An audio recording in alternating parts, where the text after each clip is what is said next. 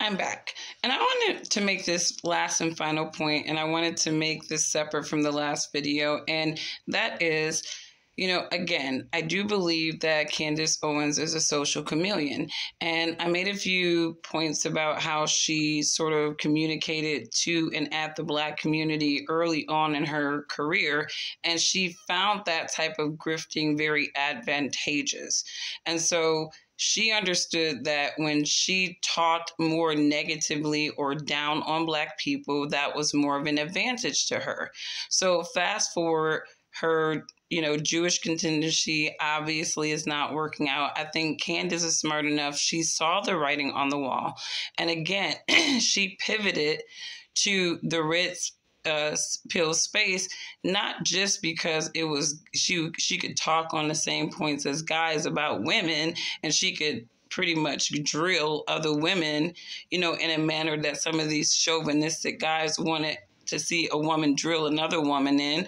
But it was also because that space was really dominated by a very traditional or an even chauvinistic Muslim population population.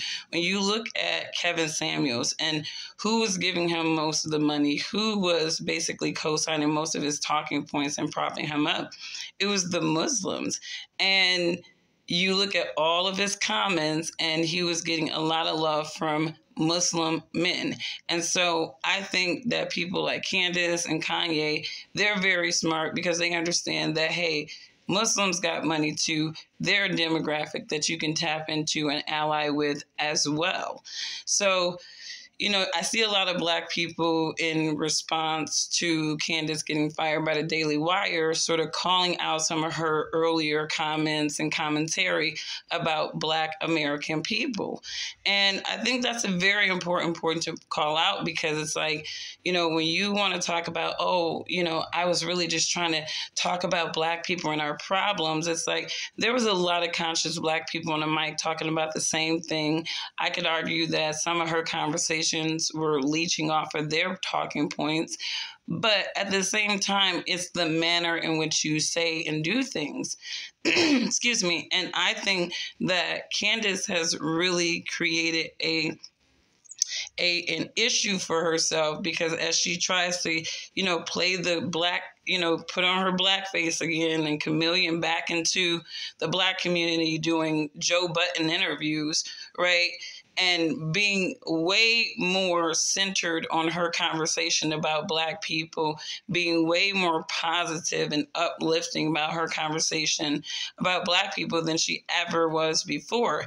And black people notice things like that. People remember, you know, what did you get paid to do the most? And it was really to talk about black Americans, highlight black Americans in general, a lot of times you know, as if we were ignorant, as if we were in general unintelligent people, and even leveraging those African and Caribbean migrants who sometimes would want to remove themselves from being attached to Black Americans.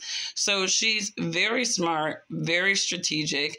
And I think right now she has to figure out how to play chess with her career right now because now she has to figure out how do I navigate in a bunch of spaces because like pearly things, it, you know, she, at least Candace can navigate in the red pill space because she's married, she has children. For the most part, she's a person that sort of, you know, epitomizes, you know, what you should do right in your life. Like, and, instead of, you know, kind of taking some of the rogue feminist, chauvinist positions about things, you know, which I think she still kind of centers towards the chauvinist position. But I say that to say, I saw her on Joe Budden recently, and it was almost like seeing somebody totally different. And it was almost like somebody, like, you know, completely oblivious as to why Black people would be very skeptical about her. And again, it's not what you say, it's how you say it and who you're actually appealing to at the time that you're saying it. Candace Owens, for the most part, um, somebody was posting a tweet from 2019, it looks like, um, where, you know, she was making some comments about studying um, basically the social economic situation between blacks and immigrant and black looking immigrants right? And then june 19 2023 she talked about how juneteenth was ghetto and made up and really that was not true. Juneteenth was not made up. It was actually an observation by a certain demographic in the black community and it sort of trickled into a lot of fraternities and churches, but it really just then on as this collective thing that all Black people acknowledged and followed up until 2023. So she was very incorrect about that, you know, and she was really just tr- making statements, clickbait statements for, for you know, obviously the audience appeal to non-black people and black people remember things like this. And so I wish people, you know, well in their career. I mean, none of us are perfect. You know, I think that she's smart enough to be able to pivot and doing whatever she decides to do. You know, and I think she will. Like, I personally believe, like I said, Candace Owens is smart, intelligent, she's beautiful. She has a big audience. She's going to know kind of how to pivot in order to keep her platform going. So, in terms of that I'm not worried about. You know, but at the same time, it's like I do feel like people like, you know, Candace Owens are like angels that, you know, present themselves as an angel of light. But really, I think, you know, any person that wants to be attached to Satan's world, like I said, you know, there's somebody I'm going to automatically be skeptical of no matter how nice they are. So, I hope you guys again have a wonderful weekend. And I just wanted to add this talking point because I was like just kind of checking, you know, and I'm like, wow, you know, a lot of people are kind of getting on a mic and talking about the separation between her and the Daily Wire. And obviously, a lot of black people are kind of, you know, they call it, you know, black Twitter, black Instagram.